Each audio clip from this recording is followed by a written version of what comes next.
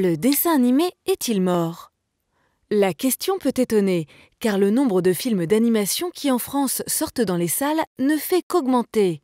De 24 en 2007 à 35 en 2016. Il représente 5% des films inédits en 2016 et 18% des entrées.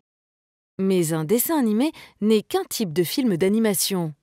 Un film d'animation est une suite d'images prises avec une caméra spéciale.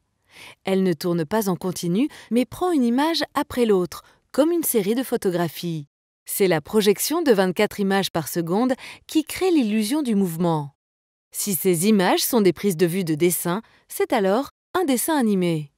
Ce n'est pas le cas si ce sont des prises de vue de papier découpé, de figurines en pâte à modeler ou de modélisation numérique en trois dimensions. Les dessins animés font moins recette depuis la généralisation il y a 15 ans des films en images de synthèse en 3D comme ceux des productions Pixar et DreamWorks.